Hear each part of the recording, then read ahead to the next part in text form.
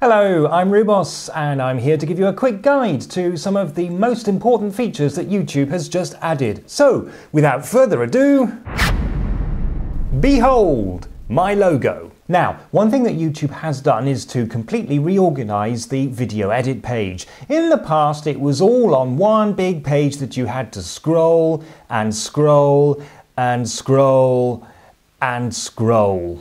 Well, now everything is organized into tabs. Basic info for the most important stuff and advanced settings uh, for the extra stuff. Oh, and you don't necessarily have to hunt for the save button either because changes are automatically saved every few minutes, even if you do nothing at all. Although the button is there if you want it. I mean, I suppose there is a reason that uh, you'd want it there. It's, it's a nice thing to have and um, it looks pretty.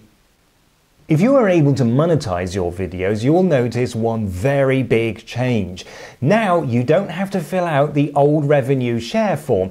Instead, you just monetize the video and select what type of ads you want to appear. But that doesn't mean that you have free reign to upload any. I'm so sorry, I, I, have no idea where that came from. Anyway, as I was saying, that does not mean that you have free reign to upload anything you want. YouTube will be checking. Now, here's a small tip. I actually keep a spreadsheet of all the videos I make with details of all the material I use, just in case YouTube ever asks. This tip was provided to you free by the rewboss channel. Also, if you are a partner, up until now you'll have been using the tired old uploader. Well, good news because finally you get to access the shiny new uploader. Ta-da!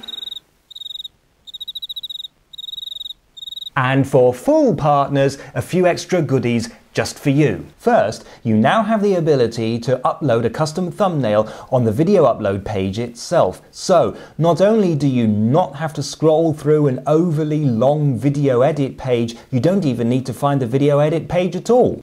Just wait for the video to upload and process, and then upload your thumbnail. And after all this time, finally, scheduled publishing works.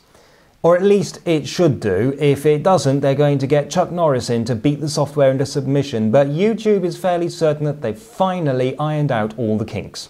To use the scheduled publishing in the new interface, you need to start uploading a video as private. Then, on the next page, you'll see a scheduled publishing option activate it, and then set a date and time. You can then sit back and relax and know that your video will be published at the time of your choosing, even if you've been kidnapped by aliens.